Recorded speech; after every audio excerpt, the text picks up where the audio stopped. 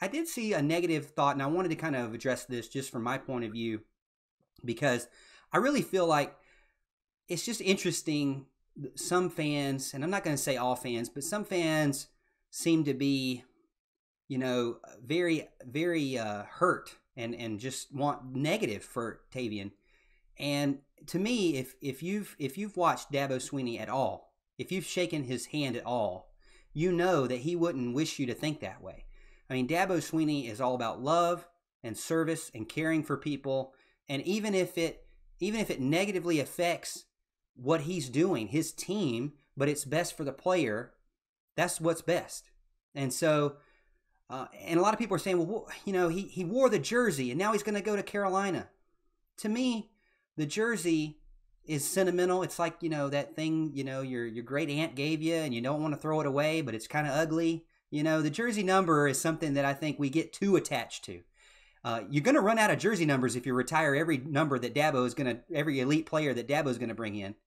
And uh, jersey numbers are have always been.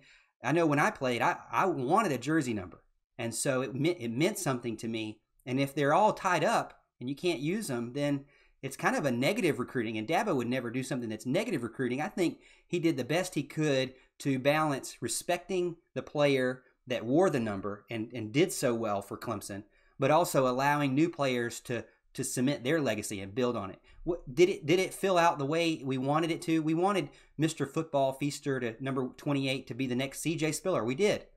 It didn't it didn't pan out to be that way, but that doesn't mean that he didn't deserve the number and he should, you know, be erased from the Clemson record books and he's not a graduate, especially if he graduates, he's going to be a two-time champion that graduated. What more could you want from a guy, especially if you don't think think about this way.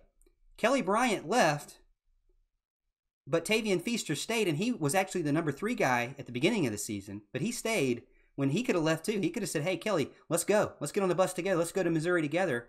Um, but he stayed and he toughed it out. I think that he did. He he paid his time. I don't think he. I don't wish any ill will against Tavien Feaster at all. So if you're if you're one of those fans it's like, man, I just I just you know have ill will against Tavien because of that number 28. I say really reflect on that because I don't think that that's the way the coach that we love so much would want you to feel. Yeah, I'll always remember Tavien Feaster's what eighty-seven thousand yard run against NC State uh, was one of his highlight moments. I think Tavien's a great kid, is what I hear as well. Uh, here's my take on it, man. Best of luck to you wherever you go. I'd rather not see him go to South Carolina either. to me, I'd rather not see him go to a team that Clemson's going to have to play again, just because it becomes this big issue that we're going to talk about on the radio and your show. I'd rather be able to go somewhere where he could just focus on football and not be the focus in a game later on where a lot of Clemson Nation might be saying, hey, we're going to shut Tavien down and show him he made a mistake and all that stuff. So best of luck to him. I hear he's a great kid. If you can get your degree in three years, took me five years to get my degree. You can get your degree in three years, you can go do whatever you want, son. So I hope he has a great, successful career wherever he ends up, and then on to the NFL for Tavien Feaster if he's lucky, right?